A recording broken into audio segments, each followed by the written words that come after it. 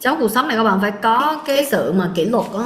sự tự kỷ luật là cách bạn huấn luyện thân tâm bạn còn nếu bạn sống còn tôi bạn sẽ sống theo kiểu giải đãi. Trong cuộc sống này quan trọng là bạn biết cách để mà bạn biết được bạn thích cái gì, bạn biết được đam mê của bạn bạn biết được cái gì có lợi ích cho xã hội và thế mạnh của bạn là cái gì. Đó. cái chìa khóa để mà thành tựu thiên đàng cho bạn là thế mạnh của bạn là gì?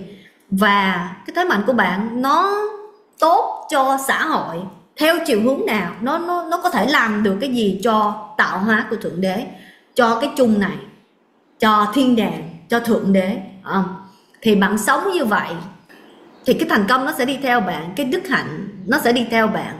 Bạn bạn phải có những cái giá trị á bạn phải có những cái giá trị. Ví dụ như đối với mình là sự sáng tạo không giới hạn. Thì mình muốn làm gì thì mình cũng giống như thì mình học cái gì rất là lẹ tu không phải làm các bạn trở nên thụ động đâu. Bạn phải sống vô ngã vị tha đúng quy luật của vũ trụ, để mà làm đẹp cái cái chung này, cái tạo hóa này, đến từ cái gốc niết bàn của mình là một quá ừ. cho nên là khi bạn sống có giá trị, bạn có những cái thế mạnh, bạn làm đẹp cho cuộc đời đó là bạn không có ngại, bạn phải bị, thiếu thốn vật chất hay là gì hết á. Bạn cứ nghĩ theo phương diện là bạn sẽ sống là có phát triển những cái giá trị, những cái thế mạnh để mà làm lợi ích cho xã hội. Ví dụ nha, tôi mày đưa ví dụ thôi.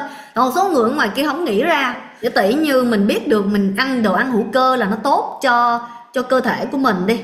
Mà thế mình tìm mua bánh kem hữu cơ, tại thỉnh thoảng là mình cũng thích ăn bánh kem hữu cơ. Thì bắt đầu mình phải đặt ở rất là xa, phải không?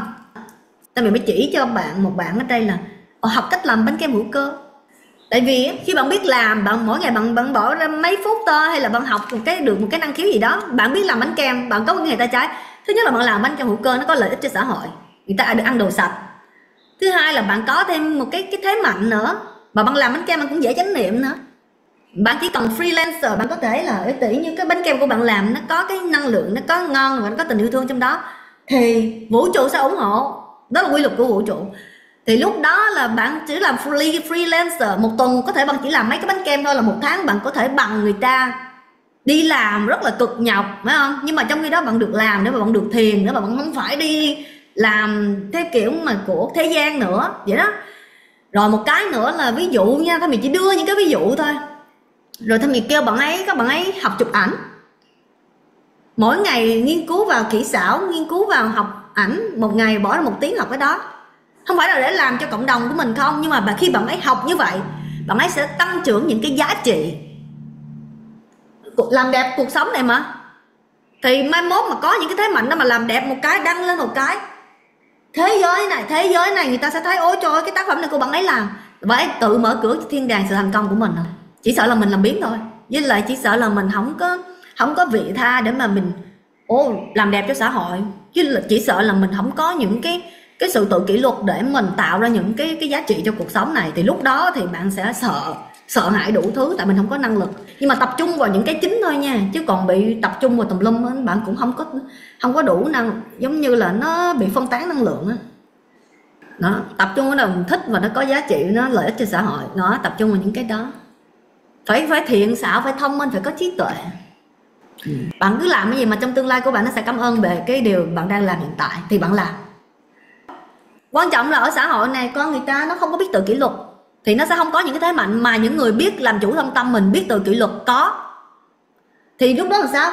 Mình có những cái năng khiếu đó, trời ơi, xã hội này nó đang tìm những con người có thể làm những cái mà người khác không thể làm. Ừ. thì lúc đó có phải là bạn tự ở nhà bạn làm được những cái, trời làm đẹp cho xã hội mà hả, có năng lượng và rồi. Bạn sẽ tự mở cửa cho cái cái cái cái phước báu của mình không? Bạn không phải đi làm những điều bạn không thích nữa. Bạn được quyền sáng tạo những hình ảnh của chuyên đàn những cách chụp hình, những cái thế mạnh của bạn, quan trọng bạn thích cái gì? Có một số người họ không thích cái gì ngoài ăn với ngủ hết đó cái đó là những người không thể cứu được. Cái sở thích của bạn, cái sở thích nào mà nó phải đi chung với sự mà để ca ngợi thượng đế và tạo hóa của thượng đế đó, thì nó nó thoát được cái vô ngã với cái sự vô minh sân si của vô ngã, với cái sự dính mắc vào thế gian này. Vì nó sống vì lợi ích của chư thiên và nhân loại, vì lợi ích của tất cả. Tại vì đó là quy luật của vũ trụ, cho bạn muốn hay không, mà cho bạn biết hay không ở đây là mình muốn các bạn này phát triển những cái giá trị, rồi có những bạn thì mình cho mỗi ngày để một tiếng ra học âm nhạc, để mà họ tạo những tác phẩm nó tích cực cho xã hội, để mà làm sao?